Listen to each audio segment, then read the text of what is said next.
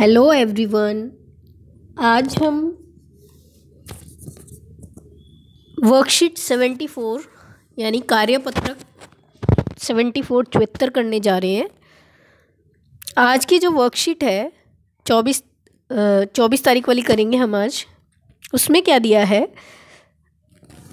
एक सांख्यिकी के बारे में बताया कि सांख्यिकी क्या है, इसमें क्या क्या होता है। तो यानी सांख्यिकी का परिचय कर रहे हैं हम, कक्षा दसवीं की। तो सांख्यिकी क्या होता है बेटा? सांख्यिकी होता है जो आंकड़ों का संग्रह है।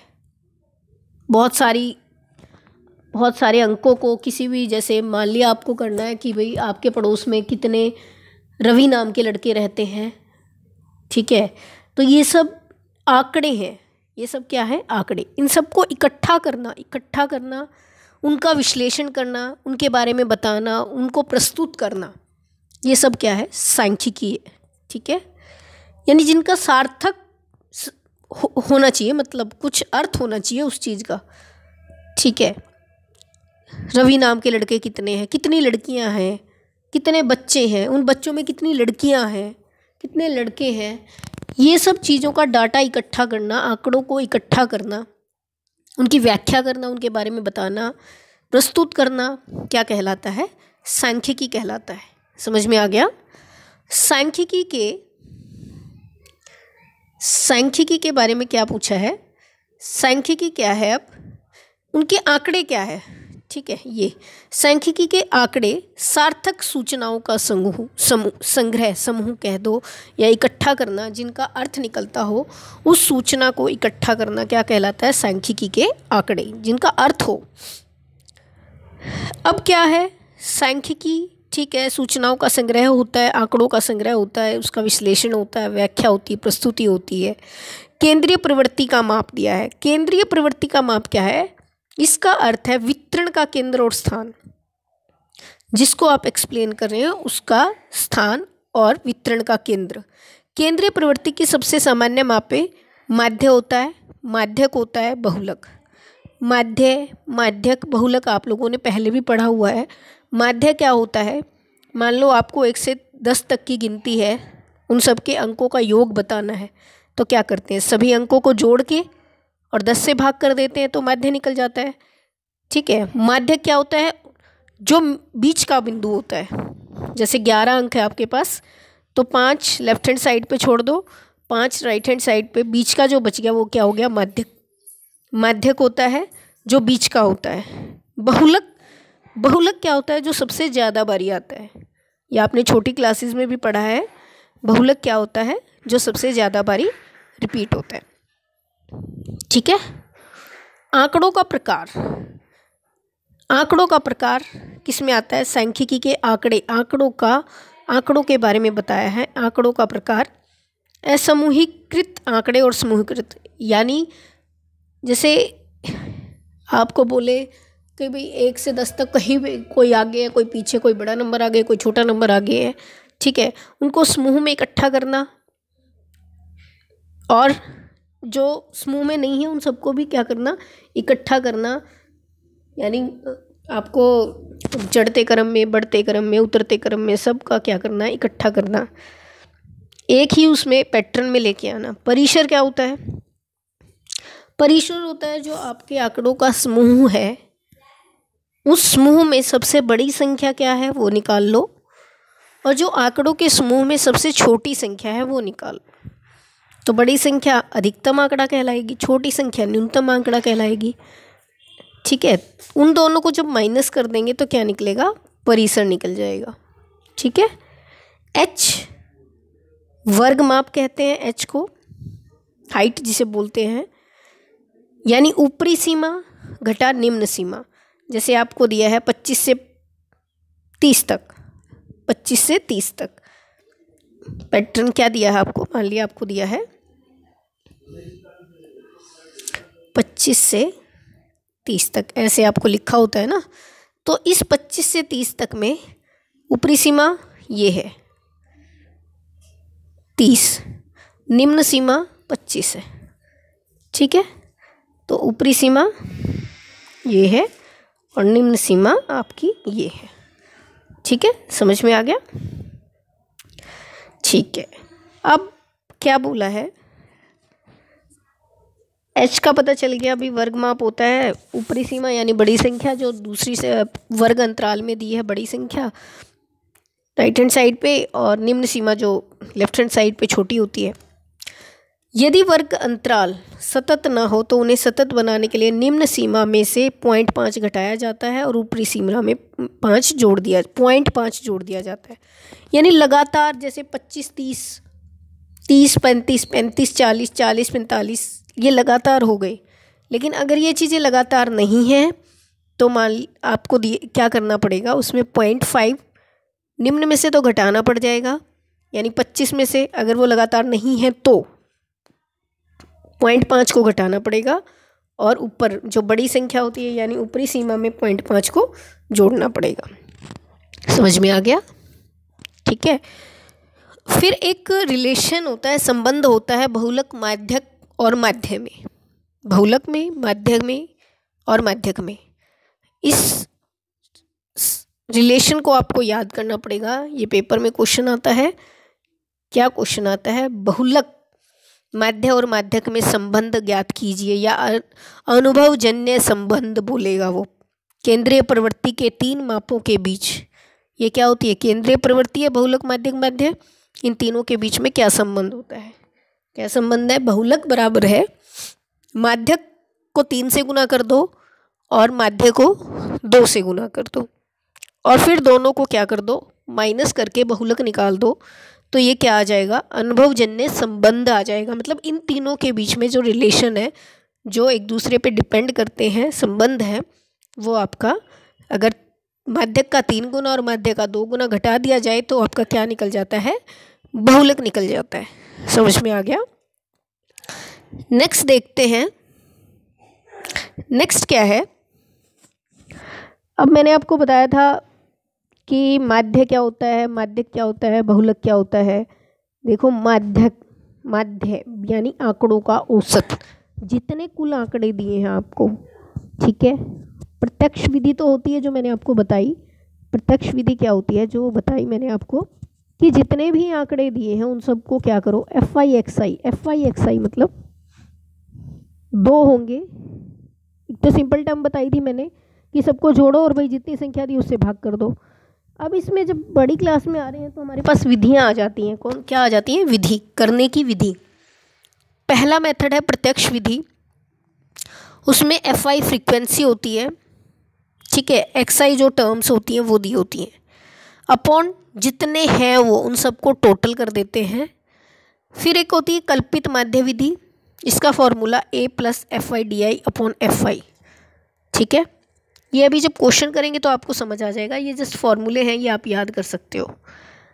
ठीक है?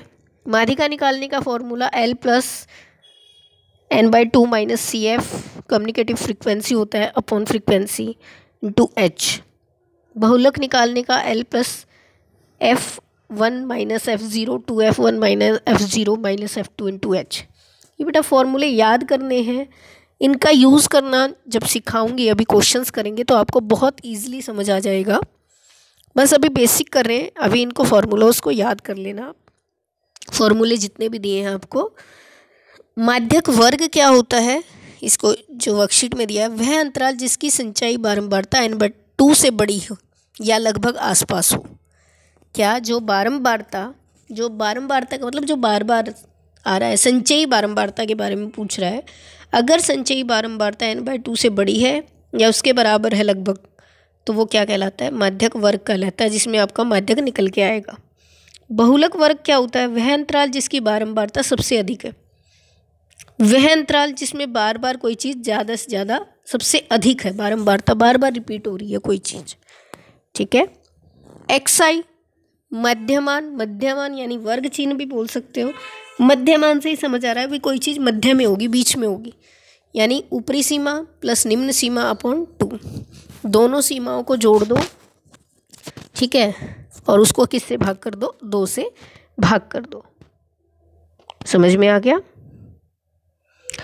तो इस तरीके से ये एक बेसिक सी है कि सांख्यिकी क्या है, इसमें क्या क्या होता है, ये आपको इस वर्कशीट में बताया गया है। अब जो फ़र्स्ट क्वेश्चन है आपका फ़र्स्ट क्वेश्चन क्या दिया है? वर्ग चिन्ह क्या है? देखो, अभी अभी पढ़ा हमने। वर्ग चिन्ह कह लो इसको, मध्यमान कह लो, ठीक है, मध्यमान कह लो, कुछ भी कह सकते हो, उसका क्या होगा? क्या आंसर है? ऊपरी सीमा, एक बटे दो, ऊपरी सीमा प्लस क्या? निम्न सीमा। ठीक है? ये जो है। ये फ़र्स्ट क्वेश्चन का आंसर है आपका।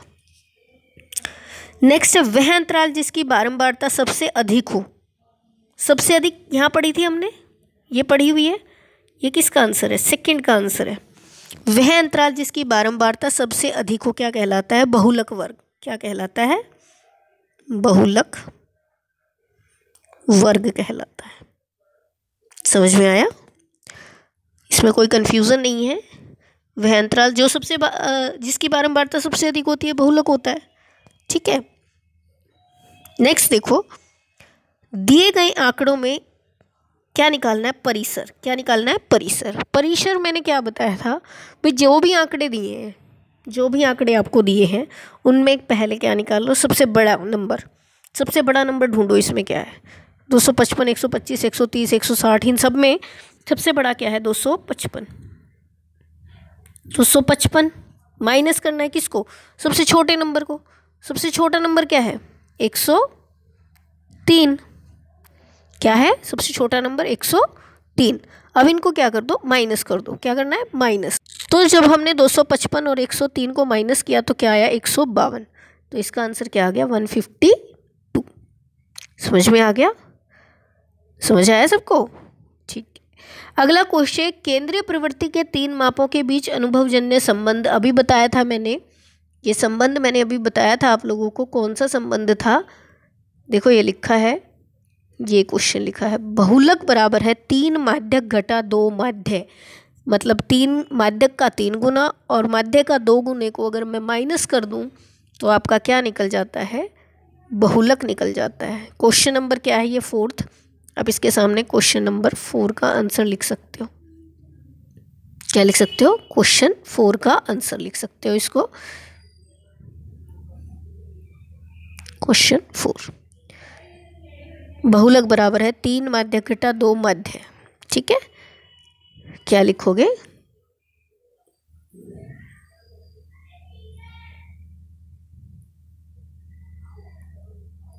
बहुलक। किसके बराबर है? तीन। माध्यक। माध्यक का तीन गुना घटा दो मध्य। मैंने वहाँ भी निशान लगा दिया है और यहाँ लिख भी दिया है कि बहुलक क्या होता है? माध्यक का तीन गुना क्या होता है? माध्यक का तीन गुना और माध्य का दो गुने को अगर क्या कर दिया जाए आपको, माइनस कर दिया जाए तो इन तीनों के बीच में रिलेशन आ जाता है। ऊपरी सीमा और निम्न सीमा के अंतर को क्या कहते हैं? अभी बताया था, देखो यहाँ लिखा था। ऊपरी सीमा और निम्न सीमा, ये लिखा है। ये क्वेश्चन नंबर फाइव का आंसर है। किसका आंसर है? फाइव का। ऊपरी सीमा घटा निम्न सीमा, क्या होता है? वर्ग। देखो क्या लिखा है? वर्ग माप। क्या लिखेंगे हम यहाँ पे? वर्ग माप। यहाँ लिख दो। वर्ग माप। समझ में आ गया? अगला है, प्रथम अभाज्य संख्याओं का मध्य पहले तो हमें ये पता होना चाहिए कि अभाज्य संख्या कौन सी है। देखो, अभाज्य संख्या वो होती हैं जो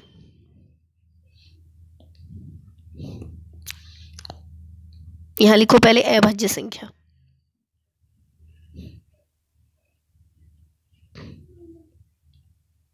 अभाज्य संख्याएँ क्या होती हैं?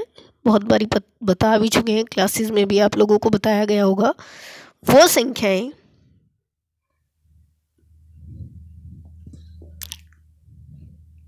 जो संख्या,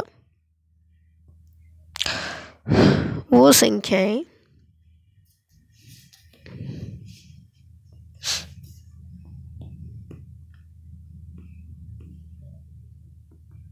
संख्याएँ जो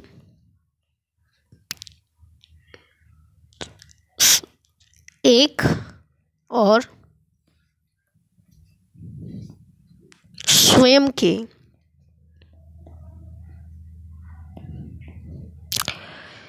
टेबल में, यानी पहाड़े में आती हो। हम क्या कर रहे थे फिर? प्राइम नंबर्स के बारे में बता रही थी मैं आपको। प्राइम नंबर क्या होते हैं? भाज्य संख्याएँ वो संख्याएँ जो एक से और अपने आप से, स्वयं से के पहाड़े में आ जाएँ या भाग हो जाएँ अपने आप से और एक से। यानी जिनके सिर्फ़ दो गुणनखंड हों, उन्हें क्या कहते हैं? अभाज्य संख्याएँ कहते हैं। वो संख्याएँ या तो जो, या तो एक से भाग या अपने आप से भाग उन्हें क्या कहते हैं? अभाज्य संख्याएँ। तो उसने बोला, पहली पाँच अभाज्य संख्याओं का मध्य। क्या पूछा क्वेश्चन? पहली पाँच अभाज्य संख्याओं का मध्य। तो पहली पाँच अभाज्य संख्या एक नहीं होती क्योंकि सिर्फ़ एक तो एक के ही पहाड़े में आता है। तो हमें तो दो गुणनखंड चाहिए तो दो दो के में भी, एक के में भी। पाँच, तीन, सात, ग्यारह। ये पहले पाँच क्या हैं? प्राइम नंबर से, यानी अभाज्य संख्याएँ हैं। इनका माध्य निकालना है, सबको जोड़ देते हैं, और जितने हैं ये, पाँच पूछा तो पाँच से भाग कर दिया। कितना आया? Five point six. पाँच पंजे पच्चीस, पॉइंट तीन मतलब तीन बच गया पाँच का तीस। तो आंसर क्या आ गया? Five point six. ये आपकी फ़र्स्ट वर्कशीट थी। आपको समझ आ गई होगी। बहुत इजी थी, बस बेसिक बताया हुआ है। आप कर लेंगे सब, ठीक है? Good bye